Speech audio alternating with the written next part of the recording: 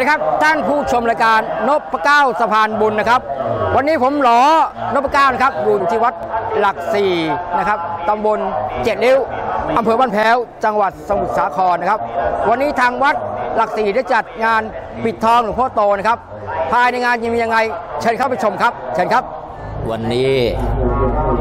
เป็นวันแรมสามค่ำเดือนสี่อันเป็นวันที่วัดหลักศรีราชสโมสร ได้มีพิธีสำคัญ นั่นก็คือพิธีแห่หลวงพ่อโต อัญเชิญหลวงพ่อโตลงไปตามกระแสน้ำคลองดำเนินสะดวก ซึ่งเป็นประจำทุกปีว่าเมื่อขบวนเรืออัญเชิญไปสู่คลองดำเนินสะดวกแล้วเนี่ยชาวบ้านที่อาศัยอยู่ริมสองฝั่งคลอง ก็จะได้นำเครื่องสักการะเท่าที่ตัวเองจะหาได้ โดยทั่วไปก็คือผลไม้ตามที่ตัวเองมีเนี่ยมาไหว้หลวงพ่อโตในขณะที่หลวงพ่อเสด็จหรือว่าผ่านไป ที่ขาดไม่ได้ก็คือประทัดนะไปแต่ละบ้านเขาก็จะจุดประทัดรับองค์หลวงพ่อ ซึ่งก่อนหน้านี้ชาวบ้านที่เขาอยู่ตามบ้านที่ใกล้ที่ไกลก็ตามเนี่ยก็จะได้นำถาดผลไม้นะมาสักการะบูชาแก่องค์หลวงพ่อโต ปกติก็จะบูชากันตั้งแต่แรมสองค่ำแล้วแล้วก็พอแรมสามค่ำตอนเช้าเวลาตีห้ายี่สิบเก้านาทีนะหลังจากทำพิธีเปิด งานประจำปีปิดทองเขาก็จะได้นำผลไม้กลับไปที่บ้าน เป็นมงคลต่อชีวิต วิถีชีวิตของคนคลองดำเนินสะดวก เป็นวิถีชีวิตที่เรียบง่าย ทุกคนมีหลักยึดอยู่ในใจ นั่นก็คือหลวงพ่อโตซึ่งเป็น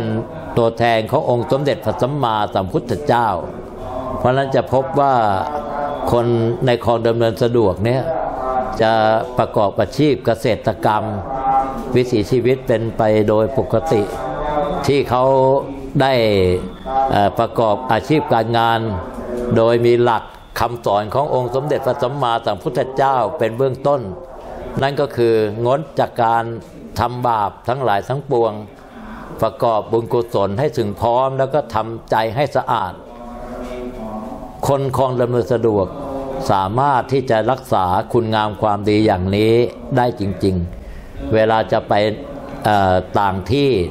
หมายถึงการที่จะไปประกอบอาชีพการงานต่างถิ่นต่างฐานก็จะแวะเข้ามา กราบบูชาหลวงพ่อขอพรอันเป็นมงคล หลวงพ่อก็จะประทานพร การที่หลวงพ่อประทานพรเนี่ยทุกคนจะมีความรู้สึกได้ด้วยตัวเอง ว่าหลังจากที่มาเคารพสักการะบูชาหลวงพ่อแล้วไปประกอบอาชีพการงานอะไรก็ล้วนแต่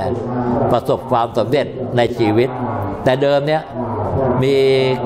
แค่สามวันนะ ต่อมาผู้คนมันมากขึ้น เป็นห้าวันเจ็ดวันปัจจุบันนี้เป็นเก้าวันแล้วหลวงพ่อนี่เป็นพระพุทธรูปสมัยอู่ทองแกะสลักจากหินแดงหรือว่าหินทราย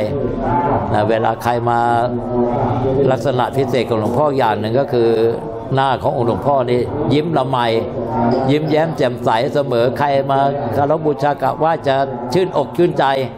นะชื่นอกชื่นใจนี่คือวิถีชีวิตของออชาวคลองดำเนินสะดวก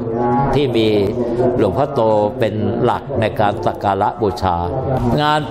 ใช้จันทรคติแรมสามข้ามเดือนสี่ของทุกปี บางปีมันก็จะไปปลายเดือนมีนา แต่ว่าบางปีก็จะมาต้นเดือนคือแล้วแต่ว่าแรมสามข้ามเดือนสี่เดือนไทย จะเป็นตอนไหน เอาวันไทยเป็นหลัก โอกาสนี้ก็ขออำนาจ ความศักดิ์สิทธิ์ รัศมีกำลังฤทธิ์แห่งองค์หลวงพ่อโต ได้ประสิทธิ์ประสาทพรอันเป็นมงคลดลบันดาลความสุขความเจริญ ให้บังเกิดมี